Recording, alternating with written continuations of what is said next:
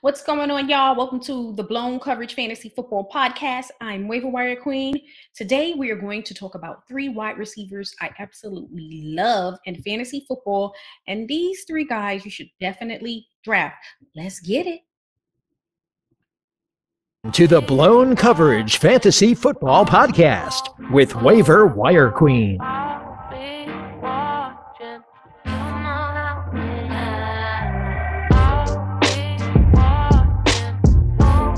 Right, y'all, make sure you hit the subscribe button. We have a lot of great material which will help you prepare for your upcoming fantasy football season to help you achieve your ultimate goal to win your fantasy football league. Because at the end of the day, the ultimate goal is to win, win, win. And that's all we're trying to do and accomplish this upcoming season let's talk about these wide receivers I absolutely love because I just love them.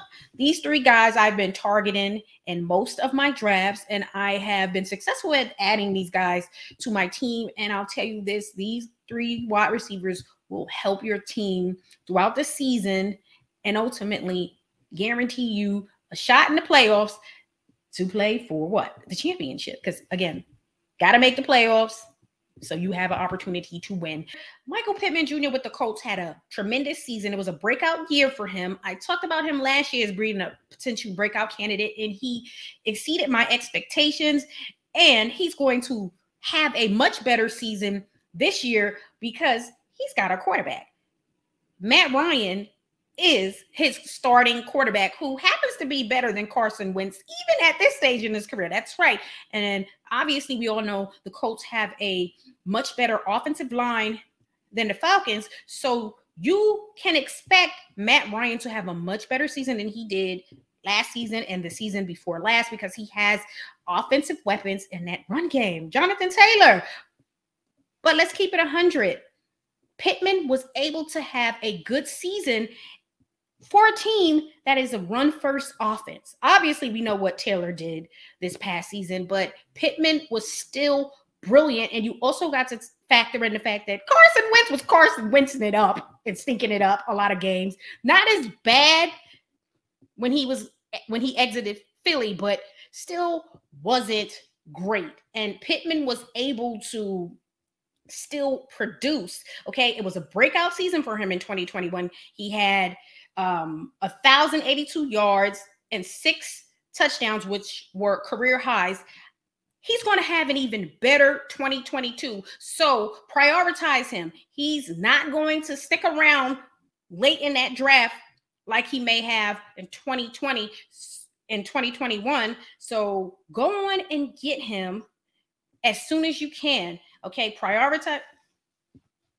So prioritize Pittman because he's not going to be available late like he was uh, in his rookie season and in 2021. So if you want Pittman Jr., you're going to have to be aggressive and snatch him up. Coming in at number two, another one of my favorites who is guaranteed to have a hell of a season, a bounce back year, and all of that good stuff.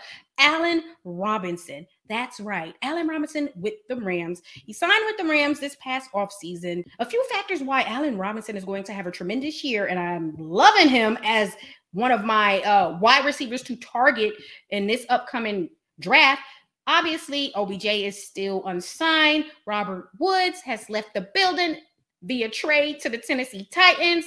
Also, consider the fact that you have Matthew Stafford throwing the ball. He's going to be throwing it sideways. He's going to be doing all types of things to help ensure that Allen Robinson is going to go over a thousand yards this season. I can guarantee he's going to go over a thousand yards this season. It's going to be a bounce back season. Obviously, we're not even going to talk about 2021 because it ain't worth talking about. When you look at the stats for Robinson in 2021, you're like, let's not even go there. It wasn't a good year. The Bears were horrible. Rookie quarterback. What do you expect? Okay. And then we know Mooney ended up being the number one for the Bears. But at the end of the day, he's going to be playing alongside Cooper Kupp. Okay. So we all know what Cooper Kupp did last season. Tremendous record breaking season from for Cooper Kupp.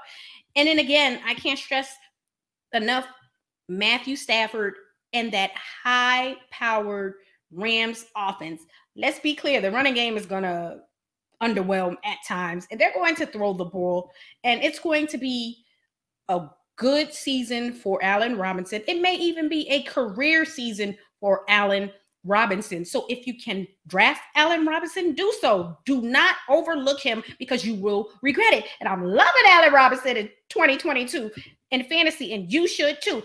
Coming in as the number one wide receiver, I truly love this year in fantasy football. Gabriel Davis, that's right.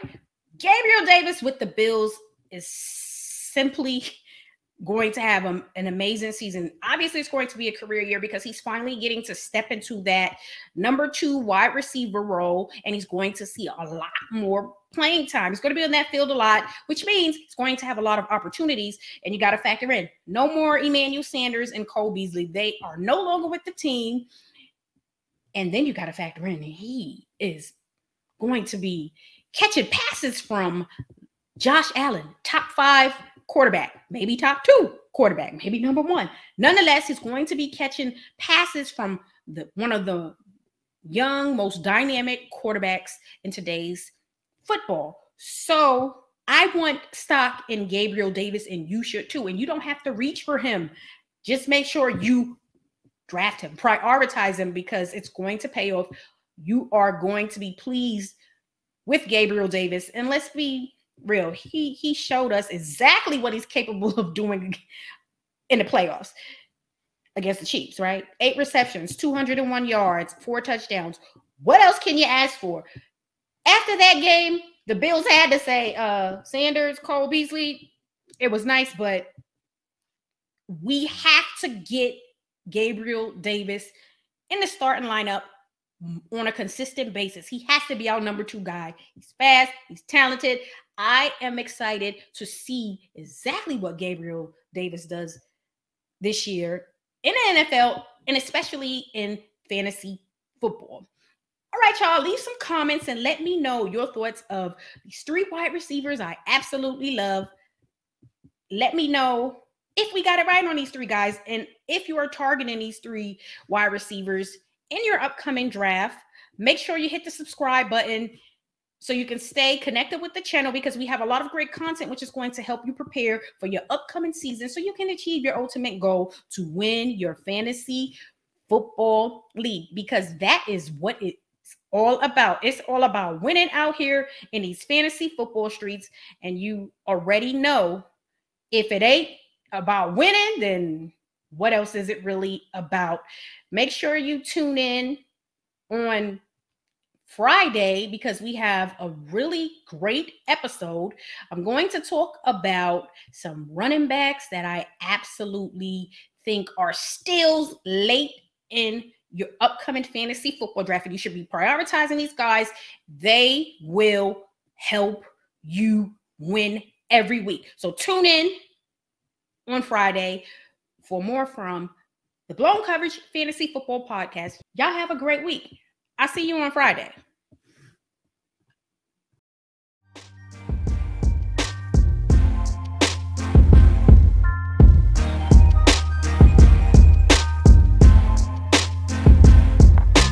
Thanks for listening to the Blown Coverage Fantasy Football Podcast. Be sure to subscribe to our YouTube channel at Blown Coverage Fantasy Football Podcast.